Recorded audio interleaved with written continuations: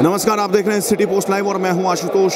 ये दिल्ली का रामलीला मैदान है, जहाँ पर भारतीय जनता पार्टी का दो दिवसीय राष्ट्रीय अधिवेशन, खुला अधिवेशन चल रहा है। अभी बस पाँच मिनट पहले भाजपा के राष्ट्रीय अध्यक्ष अमित शाह ने इस अधिवेशन को संबोधित किया। देश भर के बीजेपी के जो तमाम मुख्यमंत्री हैं, तमाम बड़े नेता हैं, जो केंद्र में मंत्री हैं, सांसद हैं, सभी इस अधिवेशन में शामिल हुए अधिवेशन की शुरुआत मनोज तिवारी ने किया, अपने स्वागत भाषण से, स्वागत भाषण में उन्होंने गीत गाया, गीत गाकर अब की बार मोदी सरकार का नारा, फिर से मोदी सरकार का नारा एक बार फिर बुलंद किया। राष्ट्रीय अधिवेशन में भारतीय जनता पार्टी के इस राष्ट्रीय अधिवेशन में उपस्थित हमारे न सिर्फ़ दुनिया की सबसे बड़ी पार्टी, बल्कि विश्व शांति के लिए कार्य कर रही गरीबों को समर्पित सबका साथ, सबका विकास सोचने वाली भारतीय जनता पार्टी के राष्ट्रीय अध्यक्ष श्री अमित शाह जी, विपरीत परिस्थितियों में भारत के गौरव को अपनी पराकाष्ठा पे पहुँचा रहे विश्वमान्य नेता, देश के यशस्वी प्रधानमंत्री श्री नरेंद्र मोदी जी, हमारे संसदीय दल के सभी आदरणीय सदस्यगण सभी प्रदेशों के भारतीय जनता पार्टी के तरफ़ से मुख्यमंत्रीगण, राष्ट्रीय पदाधिकारीगण, सभी मोर्चों के पदाधिकारीगण, सभी सांसद, विधायक, पार्षदगण, सभी प्रदेशाध्यक्षगण, जिलाध्यक्ष, मंडल अध्यक्ष, विभाग, प्रकोष्ठ प्रकल्पों के सभी सदस्य, अधिवेशन में अपेक्षित और उपस्थित हमारे सभी भाई बहन और देश की मीडिया दिल्ली भारतीय जनता पार्टी के प्रदेश अध्यक्ष के रूप में आप सभी का इस अधिवेशन में हम स्वागत करते हैं। आप सबको प्रणाम करते हैं। कदम मिलाकर चलना होगा। ऐसी लाइनों के जन्मदाता स्वर्गीय अटल बिहारी वाजपेयी जी के चरणों में श्रद्धावन श्रद्धांजलि देते हुए हम आपको इस बात का याद दिलाना चाहते हैं कि देश की राजधानी होने के नाते हमें भारतीय जनता पार्टी के तरफ़ से कई ऐसे कार्यक्रम मिलते हैं, जो हमारी परीक्षा भी लेते हैं, हमारे लिए चुनौती भी होते हैं। ये इतना बड़ा अधिवेशन बहुत समय के बाद दिल्ली को मिला है और हम दिल्ली के छोटे छोटे कार्यकर्ता हम सभी मिलकर अपने संगठन महामंत्री सहित कोशिश किए हैं। कोई गलती हो जाए तो क्षमा कर दीजिएगा। हमारी अच्छाइयों को लेकर जाइएगा, कोई कमी होगी तो छोड़ दीजिएगा। ये स्थान बड़ा ऐतिहासिक है साथियों। यह स्थान सरकार बनाने के लिए बड़ा ही शुभ है। जब यह अधिवेशन हो रहा है तो हमारे सामने लोकसभा का चुनाव भी है। 2014 के पहले भी यहाँ पे अधिवेशन हुआ था। और ये भी इस इशारे को आप अच्छी तरह समझते हैं। आदरणीय प्रधानमंत्री जी और हमारे सभी वरिष्ठ लोगों की उपस्थिति में अगले दो दिन में बहुत सारे संकल्प लिए जाएँगे, जिसमें सबसे प्रमुख संकल्प होगा नरेंद्र मोदी जी को वापस भारत के प्रधानमंत्री पद पे बिठाना। और हम सब उस संकल्प को लेकर अपने घर जाएँगे।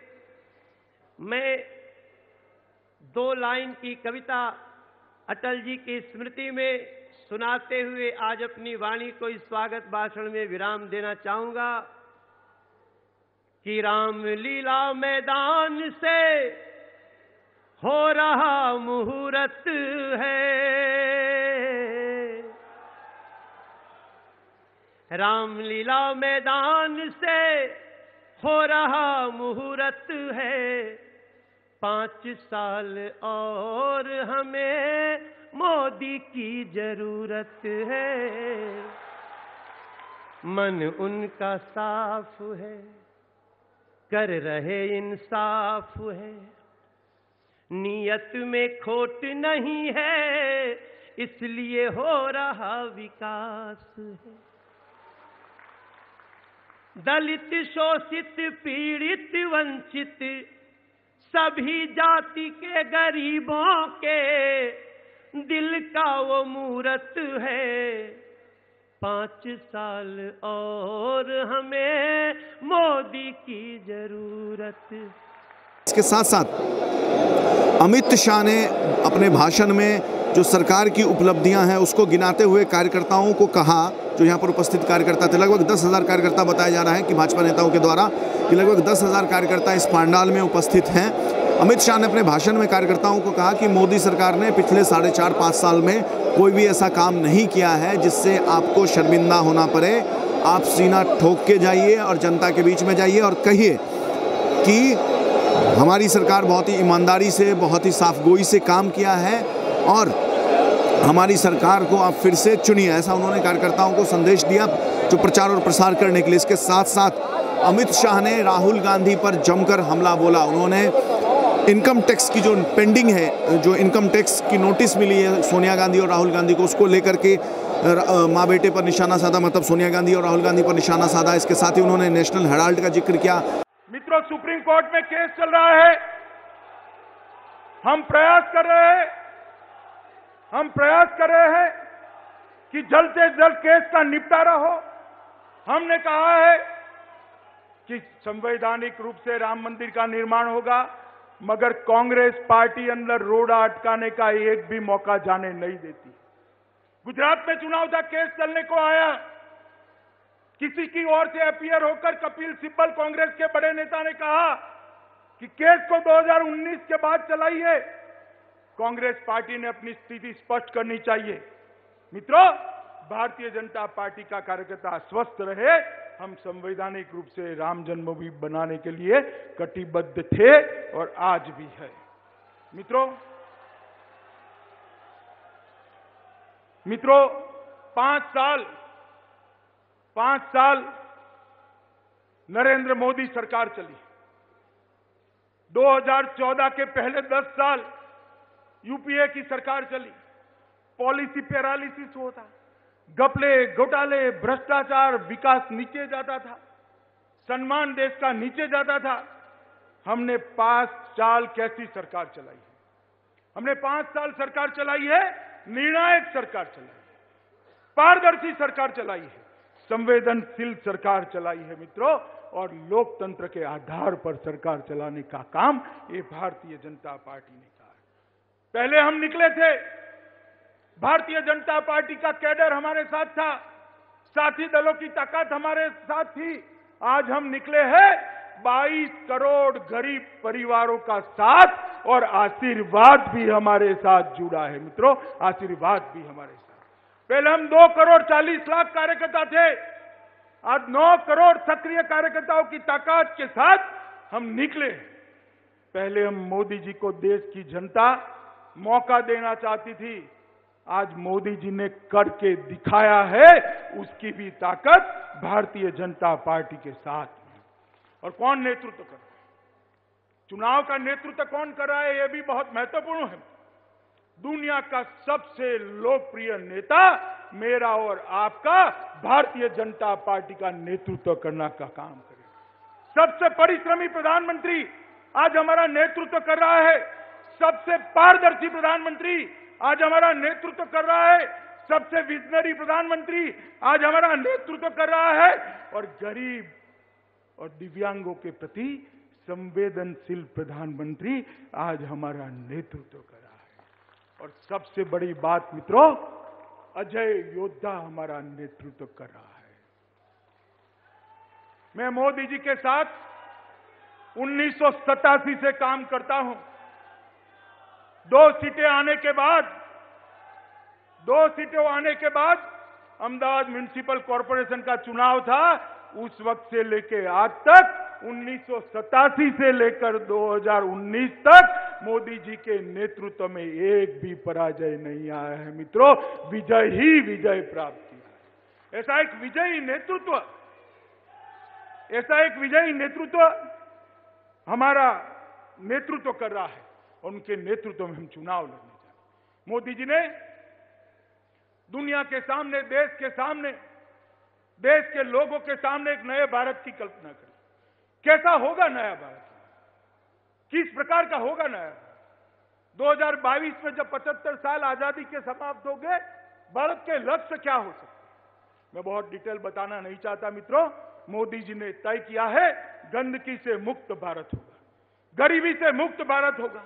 बीमारी से मुक्त भारत होगा, भ्रष्टाचार से मुक्त भारत होगा आतंकवाद को समाप्त करने के वाला भारत होगा, जातिवाद को उखाड़ फेंकने वाला भारत होगा, तुष्टिकरण को निकाल बाहर करने वाला भारत होगा और बेरोजगारी को समाप्त करने वाला पूरे विश्व के अंदर अपने गौरव के साथ खड़ा रहे, ऐसे नए भारत का निर्माण करने का स्वप्न हमारे सामने मित्रों, नए भारत का निर्माण, ये भारतीय जनता पार्टी का हमारे नेता मोदी जी का मिशन नहीं है।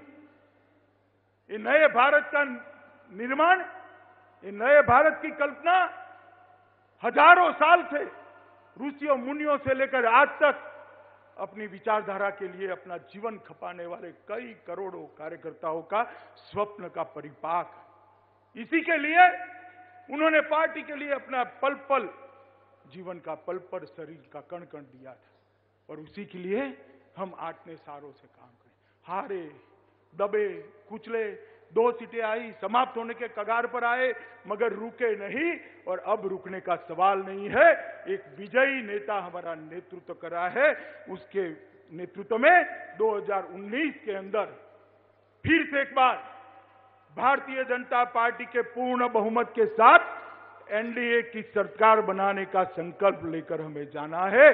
और मित्रों, मैं आपको एक बार कहना चाहता हूँ, एक बार 2019 की सरकार बना दीजिए। भारत माता को विश्व गुरु के स्थान पर बैठने से कोई रोक नहीं सकता। मोदी जी, विश्व में भारत का गौरव बढ़ाने में कोई कसर नहीं और भारतीय जनता पार्टी के कार्यकर्ता को भी मैं कहना चाहता हूँ, मित्रों, हम चुनाव के मैदान में जाना है। आपका जोश दिखाई पड़ रहा है। जोश ज़रूरी है। जोश के बगैर युद्ध जीते नहीं जाते, मगर इसके साथ में होश भी ज़रूरी पार्टी ने एक रणनीति बनाई है। एक मुहिम आयोजन माइक्रो प्लानिंग किया है। इसके सर्कुलर आपको मिल गए हैं। इसके बारे में किस एरिया पर थ्रस्ट देना है, कल मैं आपको समापन की टिप्पणी के वक्त बताऊँगा। मगर मैं, आप प्रतिनिधि हो 11 करोड़ भारतीय जनता पार्टी के कार्यकर्ताओं के आप सबको संबोधित करते हुए भाजपा के करोड़ों कार्यकर्ताओं का आह्वान करना चाहता हूँ कि आज से लेकर चुनाव के काउंटिंग तक हमारे लिए विराम को कोई स्थान नहीं है। हर क्षण भारतीय जनता पार्टी और माँ भारती को समर्पित करनी है और मैं आह्वान करना चाहता हूँ देश की सवा सौ करोड़ की जनता का भी कि मोदी जी ने पाँच साल के अंदर एक परिवर्तन लाने का प्रयास किया है। भारतीय जनता पार्टी का कार्यकर्ता करबद्ध निवेदन इस देश की जनता को करता है कि एक बार फिर मोदी जी पर भरोसा करिए, पूर्ण बहुमत की निर्णायक सरकार दीजिए। ये चाहते हैं मज़बूत सरकार मजबूर सरकार, हम चाहते हैं मज़बूत सरकार। देश की जनता भी मज़बूत सरकार चाहती है। मोदी जी के अलावे मज़बूत सरकार कोई दे नहीं सकता। आप एक बार 2019 में फिर से मोदी जी को प्रधानमंत्री बनाइए। भारत के गौरव को विश्व में सर्वप्रथम स्थान पर स्थापित करने का काम, नए भारत का निर्माण का काम भारतीय जनता पार्टी के कार्यकर्ता पूरे परिश्रम के साथ करेंगे। मित्रों बताओ, आज सब यहाँ से संकल्प लेकर हम जाएँगे। ऐसे नहीं चलेगा भाई। दोनों हाथ उठाकर जोश के साथ बोले, जाएँगे। भाजपा की पूर्ण बहुमत की सरकार बनाएँगे। मोदी जी को फिर से प्रधानमंत्री बनाएँगे। देश का गौरव बढ़ाएँगे और गौरव गरीब के जीवन में उजियारा लाएँगे। तो पूर्ण बहुमत की सरकार का संकल्प लेकर, दोनों हाथ उठाकर, मुट्ठी भींचकर माँ भारती का जयकारा प्रचंड आवाज़ से करिए। बोले, भारत माता की।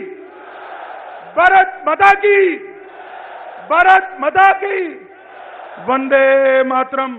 राफेल पर उन्होंने जवाब देते हुए जो राफेल पर लगातार राहुल गांधी आरोप लगा रहे हैं, अमित शाह प्रधानमंत्री मोदी पर, उस पर अमित शाह ने संबोधित करते हुए कहा इस सभा को कि राफेल पर वित्त मंत्री अरुण जेटली और रक्षा मंत्री निर्मला सीतारमन ने दो बार एक बार वित्त मंत्री राज्यसभा में और निर्मला सीतारमन ने लोकसभा में सदन को लगभग दो से ढाई घंटे तक भाषण दे करके ये बताया पूरे देश भर को बताया कि राफेल की, की जो डील हुई है वो बहुत साफगोई से की गई है। इसके साथ ही उन्होंने राम मंदिर पर भी वही जो पीएम मोदी के इंटरव्यू में आपने देखा होगा उसी चीज़ को दोहराया। एक तरीके से उन्होंने कहा कि भारतीय जनता पार्टी कटिबद्ध है प्रतिबद्ध है राम मंदिर बनाने को लेकर के लेकिन कांग्रेस के वकील सुप्रीम कोर्ट में बार बार कोई ना कोई अरंगा डालते हैं, जिसकी वजह से राम मंदिर की जो न्याय प्रक्रिया है उसमें डिले हो रहा है, राम मंदिर के निर्माण में डिले हो रहा है। इसके साथ ही उन्होंने ये साफ़ साफ़ संकेत दिया कि जो राम मंदिर का जो फैसला होगा, वो कहीं ना कहीं न्यायालय के माध्यम से ही होगा।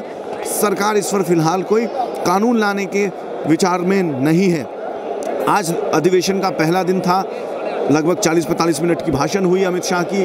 अमित शाह ने इसके साथ ही सरकार की तमाम उपलब्धियाँ गिनाई, कांग्रेस पर तमाम खामी, कांग्रेस की तमाम खामियाँ गिनवाई, इसके साथ ही उन्होंने आरोप लगाया कि सोनिया गांधी और राहुल गांधी जमानत पर हैं। उनको हक नहीं है कि प्रधानमंत्री मोदी से किसी तरह का सवाल पूछे, उन पर किसी तरीके का आरोप लगाए। पहले उनको स्पष्ट करना चाहिए। इसके साथ ही जो विजय माल्या, नीरव मोदी और मेहुल चौकसी को लेकर के लगातार कांग्रेस पार्टी के द्वारा प्रधानमंत्री मोदी पर आरोप लगाया जाता है कि मोदी सरकार में ये तीनों भाग गए इस पर अमित शाह ने जवाब देते हुए कहा कि मोदी सरकार जो केंद्र की सरकार है, वो चौकी, चौकीदार है जो जाग रही है, इसलिए ये तीनों घोटालेबाज या तीनों चोर भाग गए आपकी सरकार में चोर थे और आप इनको संरक्षण देते थे, इसलिए ये देश में बैठे हुए थे। तो कहीं ना कहीं कांग्रेस के जितने भी आरोप लगा, पिछले दिनों कांग्रेस पार्टी के द्वारा लगाया गया था, प्रधानमंत्री मोदी पर, बीजेपी पर, भारतीय जनता पार्टी की सरकार पर, उसका एक एक करके सिलसिलेवार सिलसिलेवार सिलसिलेवार तरीके से अमित शाह ने जवाब दिया। और इसके साथ ही कल प्रधानमंत्री मोदी क्या बोलते हैं अधिवेशन के दूसरे दिन? कल उनको संबोधित करना इस अधिवेशन को। इस पर सबकी निगाहें टिकी हुई है। आ, कल जो भी पीएम मोदी इस अधिवेशन में संबोधित करेंगे तो वो भी हम अपडेट आप तक पहुंचाएँगे। तब तक के लिए आप देखते रहिए पढ़ते रहिए सिटी पोस्ट लाइव। और अगर आपने हमारे चैनल को सब्सक्राइब नहीं किया है तो चैनल को सब्सक्राइब अवश्य करें।